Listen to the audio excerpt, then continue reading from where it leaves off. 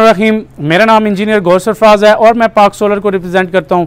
आज हम इधर मौजूद हैं सरगोदा में, न्यू सेटेलाइट टाउन में। इधर हमने 10 किलो वाट का on grid hybrid system install किया है। इस सिस्टम में हमने कस्टमाइज स्ट्रक्चर दिया है क्योंकि साइड से हमारे पास शेडो का इफ़ेक्ट आ रहा था, जिस वजह से हमें कस्टमाइज स्ट्रक्चर की तरफ़ जाना पड़ा है। हमने तीन इंच का इसमें उसमें फोर्टीन गेज में हमने पाइप यूज़ किया है।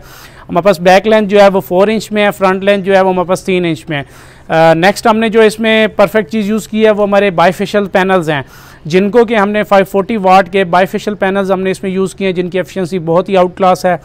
नेक्स्ट जो हमने इन्वर्टर इसमें यूज़ किया है, वो ऑन ग्रिड हाइब्रिड इन्वर्टर है थ्री फ़ेज़ इन्वरेक्स का नाइट्रॉक्स इन्वर्टर है। इस इन्वर्टर की जो सबसे बेस्ट चीज़ है, वो इसका स्मार्ट लोड मैनेजमेंट है। दूसरा, ये थ्री फ़ेज़ पे वर्क करता है हमारे, क्योंकि फेस्को में इधर थ्री फ़ेज़ पे नेट मीटरिंग अलाउ है, जिस वजह से ये इन्वर्टर हमें बहुत ही सूट करता है। बजाय इसके कि हम हाइब्रिड इन्वर्टर सेपरेट लगाएँ ऑन ग्रेड सेपरेट लगाएँ, क्योंकि लोड शेडिंग है यहाँ पे तो ऑन ग्रेड अपनी वर्किंग छोड़ देता है ड्यूरिंग लोड शेडिंग तब हमें हाइब्रिड इन्वर्टर्स वर्क करते हैं हमारे। तो हमारा जो इससे बेस्ट चीज़ है वो ये टू इन वन इन्वर्टर है, बिजली जाएगी तो वो एज अ हाइब्रिड ऑपरेशन करेगा।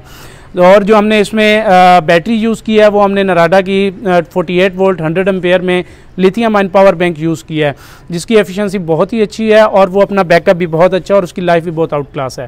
तो मैं उम्मीद करता हूँ कि आपको हमारा सिस्टम ये बहुत ज़्यादा पसंद आया होगा। किसी भी क्यूरीज़ के लिए आप हमारे नंबर पर कॉन्टैक्ट कर सकते हैं। Thank you so much